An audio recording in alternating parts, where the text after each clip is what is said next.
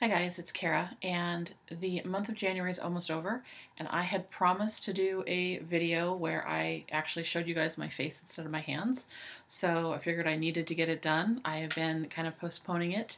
I've actually done it a few times and not liked it and deleted it, and this time I decided I'm just not going to worry about it. I'm going to answer your questions and post the videos and go from there. I am going to kind of break this into two videos instead of one long one. They'll be under 15 minutes, I'm hoping and kind of grouped into two categories. You guys left some really awesome questions for me. Most of them were either about me and living in Alaska or about like crafty questions, things about my YouTube channel. So this first video is going to be answering the questions you guys had about me. And I'm going to kind of lump some of them together. I may um, occasionally mention someone by name, but I'm kind of just going to roll them all into some similar questions, okay? And if you guys see me looking down, then just know it's because I have all of the questions in my Midori and it's sitting on the desk in front of me. So I'm going to go ahead and get started. A few of you had some questions about just me and kind of how I got to Alaska, where I was raised, how many kids I have, all that good stuff. So I'm going to give you a little bit of background information and I'm going to apologize in advance because I'm not 100% sure what's going to come out of my mouth. I'm not totally comfortable doing these kind of videos. This is the first one I've done, so just kind of keep that in mind as you're watching. So I was born and raised in Arizona in the Phoenix Glendale area, for those of you who are familiar with that part of the state. I lived in that area until I was almost 18, and then I went to college at the University of Arizona in Tucson. And when I was in my sophomore year, that's where I met my husband, who is from Alaska, which is where we currently live. I had no intentions of living in Arizona if I could move someplace else. I was just kind of tired of the heat and just the big city feel of it. So when we had our first child, when I was about 21, uh, we decided to move up to Alaska.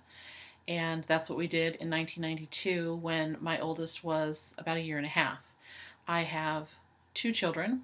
Uh, the one that I just mentioned is my son, who is now 23, and I have a daughter who's 19. And we had her up in Alaska. We've lived here ever since 1992, primarily in the Anchorage area. I am now 46 years old, and if you guys have been watching my videos, you know that my oldest lives in Seattle and my youngest just moved out a few months ago and lives in Anchorage. So we are officially empty nesters. And that was actually a question I got from Crafty Irina was uh, how it feels to be an empty nester and how I'm adjusting. And that's kind of a weird question for me because I don't know how to describe it exactly. I know that when our kids were younger and going through different kind of stages where they were difficult or had done something, you know, particularly rotten, we used to comment about how great it would be when the kids moved out and it was just us. And I can remember thinking at one point, you know, when Cassie turned 18, I would only be 45. And now here I am. It's a year after that. And it's just Tom and I, my husband, Tom. And it's really strange. Um, it kind of changes your whole life. You don't have to, I mean, there's not, it's not all bad. You shop differently. You know, you're only buying for the two of you. You don't have to worry about what kids like, kid likes this and what kid likes that. You don't have to worry about picking them up or taking them anywhere or anything like that.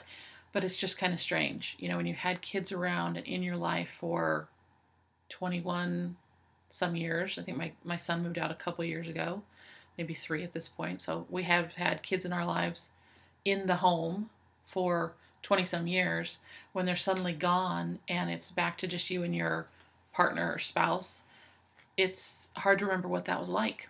And it's just really kind of strange. Um, i like part of it. I like being able to kind of come and go and not have to worry about that. But it's also a little sad at the same time. Um, for any of you who are empty nesters if you have any suggestions for me or want to comment that would be great you can offer any advice, I would love to hear it.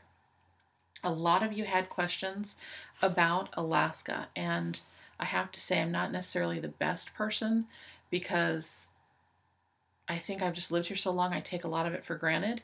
Um, but I'll tell you a little bit. Um, some of you, one of you has um, some sons that are going to be moving here, Tango Sue, and others just had some general curiosity. So, um, it's a very unique place to live, completely different from Arizona, of course. Um, I love the location that we live in, the trees and the mountains and all of that. It's beautiful here. It's especially gorgeous, you know, when we have fresh fallen snow or in the summertime when it's a gorgeous sunny day. And um, it's just a beautiful place to be. And I would highly recommend anybody who's interested to come visit and check it out because it's absolutely great. It's really great for those of you who are uh, outdoorsy people there's a ton of things that people do both in the warm weather and in the winter. You know, in the wintertime, there's a lot of skiing and snow machining and things like that. And in the summer, of course, there's all the normal outdoorsy activities, and there's a big part of the population here that likes to hunt and fish. Um, there's a lot of people who, uh, you know, they hunt for the majority of their meat to be used in the wintertime. Uh, we have moose and caribou and a variety of other animals, along with salmon and halibut um, fishing that happens quite a bit. So that's a big part of the um, life here. Um, my husband has done that a little bit. His parents, who also live here um, a couple hours away, um, also hunt and fish quite a bit. So we have a lot of that um, you know, we get a lot of that kind of meat and that kind of thing. Um, and I know for those of you that don't like to hunt or, you know, think it's not, you know, something you should do, um, that might be something that bothers you. But I will say that, you know, the majority of the people up here hunt and don't do it for just sport, not just for the trophy. They do it for um, the meat and for food and to help their families get through the winter, that kind of thing, um, because it's actually depending on what you do with the meat, it's a lot cheaper to process it yourself than buy it at the store. Um, up here in Alaska, perishable items are a lot more expensive than they are in the lower 48. That's what we call the rest of um, the United States, the continental U.S., the lower 48, um, because things are more expensive because they have to be flown up here. So perishable items are more expensive. So, for example, um, last weekend when I was at the grocery store, uh, grapes, green grapes, were four seventy nine a pound. Um, and of course, things are more expensive in the winter than they are in the summer, but just keep that in mind. I know when I moved up here, I was amazed because in Arizona, produce is really cheap when I lived there. And you can buy lettuce like 69, 79 cents a pound or for a head of lettuce. And up here, it's sold by the pound. So things are just a little bit more pricey. The flip side of that is that um, we get paid typically a little bit more to live here. It's a higher wage. And a lot of the things in the economy that are um, an issue in the lower 48, like when the economy went really bad and people were losing jobs and homes, we're not typically as hard hit up here um, because of our location and because of our own economy with what with the oil and all of that. Um, so hopefully that gives you a little bit of information about Alaska. If you have more specific questions, leave them down below and I'd be happy to do another video or just respond to your comments. Um, I had a few people who asked me about how I managed to work and craft and if I did it, you know, always worked full time. Um, and I have pretty much always worked full time. I went back to work with my oldest when he was six weeks old.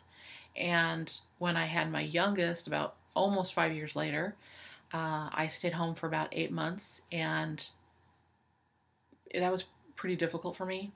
I'm not, I mean, I kind of grump and groan like everybody else about getting up and going to work, but I don't think I was made to be a stay at home mom, at least not a full time stay at home mom.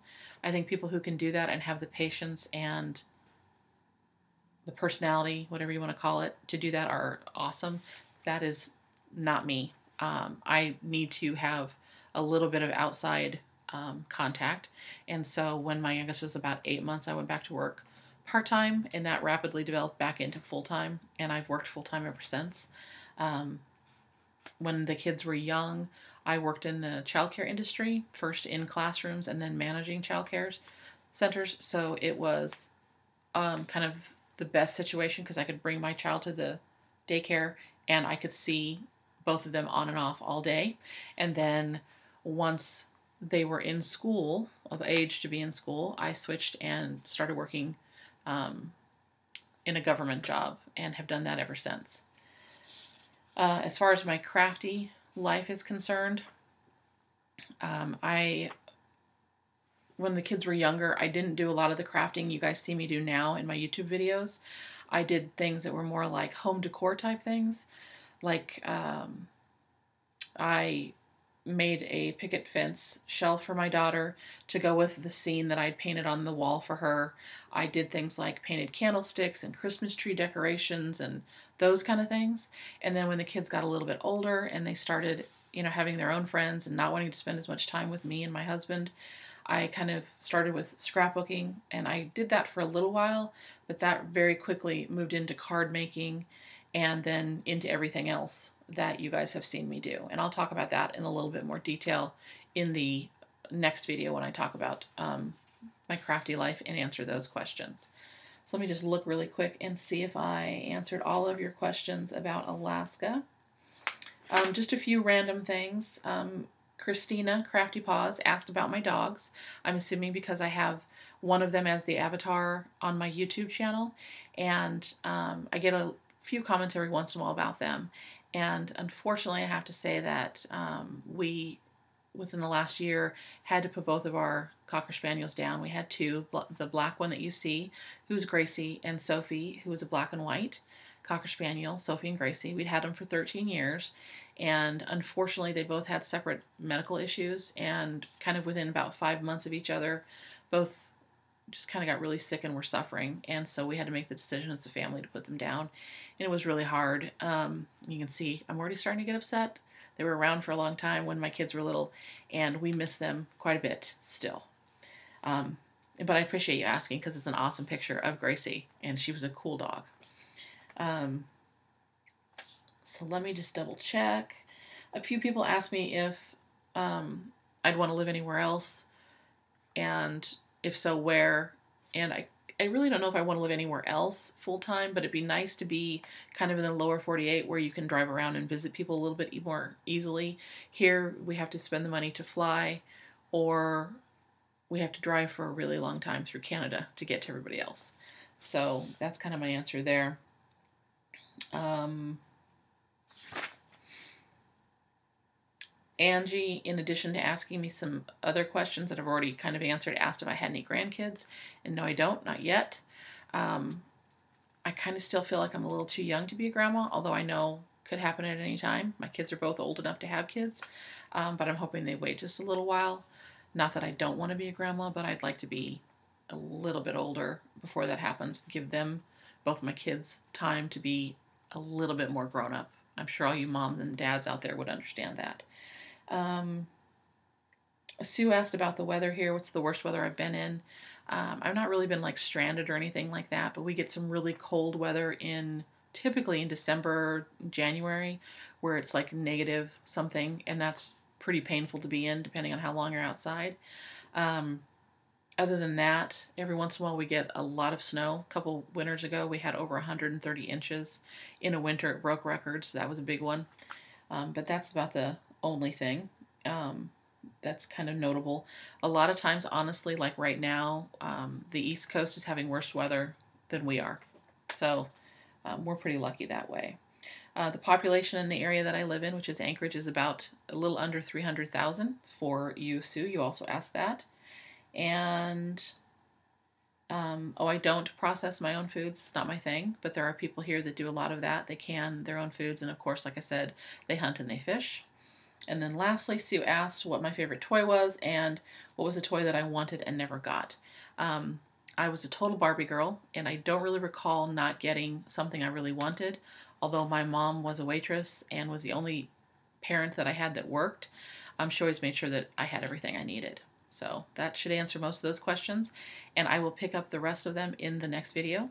So hopefully you guys will watch that, and um, thanks for leaving the questions. Bye, guys.